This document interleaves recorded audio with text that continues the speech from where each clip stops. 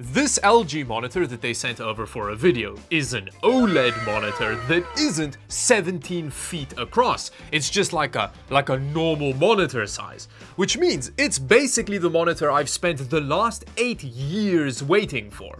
So today we're going to talk about meeting your heroes and you know what they say about that.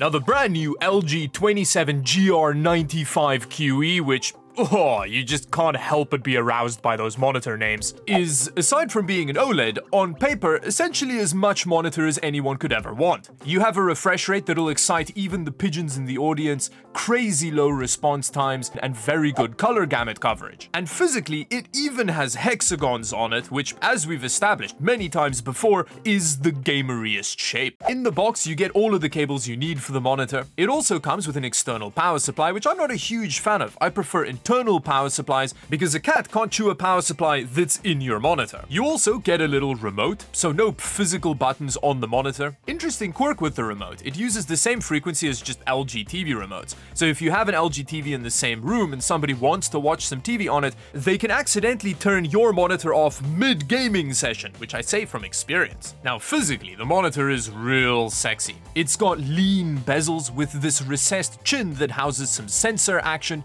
and the panel is is also mostly very thin in standard OLED fashion, although we do have a pretty big control booty bit, which aside from being just covered in hexagons, also has a little bit of lighting built into it. Cause gamer, I guess. Now the stand on this monitor is amazing, and I'll spend some more time gushing about it a bit later, but first let's talk about the I.O., which it has everything you need. It even has an optical port, which is quite unusual for a monitor, and I think it's a nice addition. Anyway, let's set it up and talk a bit about the monitor's ergonomics. Now we're quickly going to talk about the ergonomics while I load into Escav here, because this monitor has one of the best stands I've ever seen on a monitor. It's got a kind of like standard nice monitor stand, uh, so it means you have like the normal range of motion. You can even turn it into portrait mode if you want to, and it feels nice and sturdy, and it actually sits in the place that you want. But that's pretty standard. A lot of monitor stands do that. The thing that this does differently is that the stand actually is tall enough for you to get the monitor properly into your eye line, which I've never seen on one of these monitor stands before. They're always just a little bit too short, which means you still have to look down at them as opposed to look them straight in the eyes like you're going to challenge them to a fist fight. Which means this is the first monitor I've interacted with that doesn't actually need you to buy a VESA arm for it so that you don't incur back injury with it. So that's very cool. Good job, LG. Now obviously, gaming on it is amazing. Now the thing that always gets me about gaming on an OLED is not the infinite contrast ratio, which is kind of like its party trick. That's nice, but it's not the biggest deal for me. The thing that always blows me away is with the combination of the low pixel response time of OLEDs and the 240 Hz refresh rate of this panel means that it is snappy as hell. You can't feel the monitor at all, which is it's so awesome. Inputs, even in a game like Tarkov, feel frankly telepathic.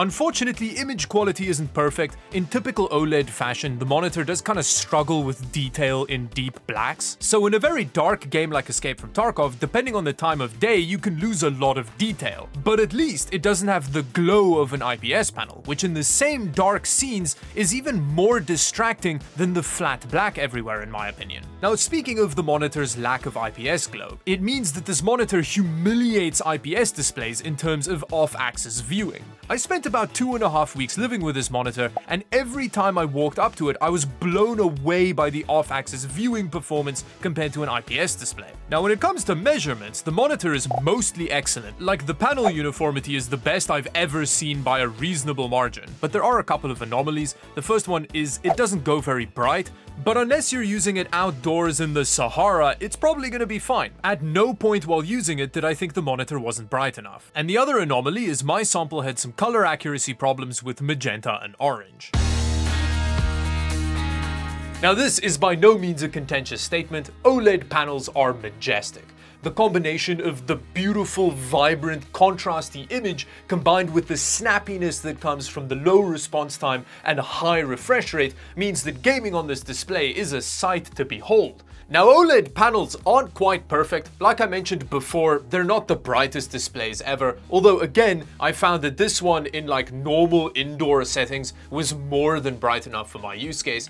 And then there's also the problem of burn-in, which does mean that you need to baby these monitors a little bit. You have to set very aggressive monitor sleep modes in Windows and uh, remember to turn the monitor off every time you walk away from it and not have it like sitting on static images. But honestly, I don't really mind having to baby tech if it rewards me for the babying, and this monitor really does. The thing is, there is a pretty big but to this monitor. Well, there's two big ones. The one is the price. $1,000 for a 27-inch 1440 display is a lot, even for something as special as this.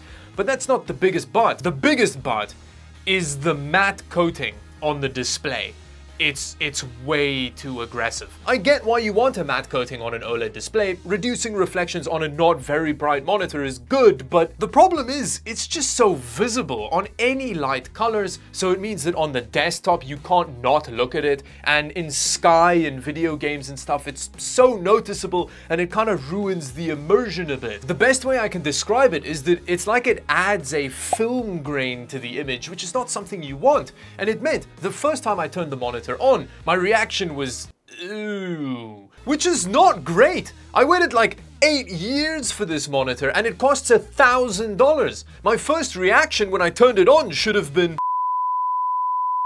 so LG, please make a version of this monitor that has the same coating on it as your OLED TVs because that it, it's way better.